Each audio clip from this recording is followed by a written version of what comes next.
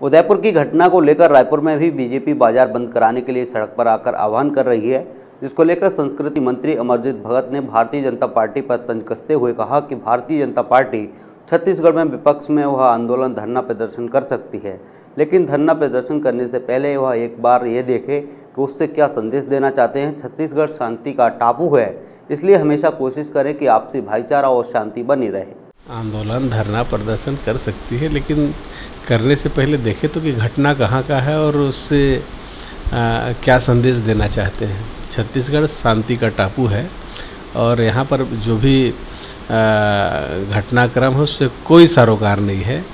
वो महज राजनीति करने के उद्देश्य से इस प्रकार की कार्रवाई या इस प्रकार के कार्यक्रम में लोग किए जा रहे हैं।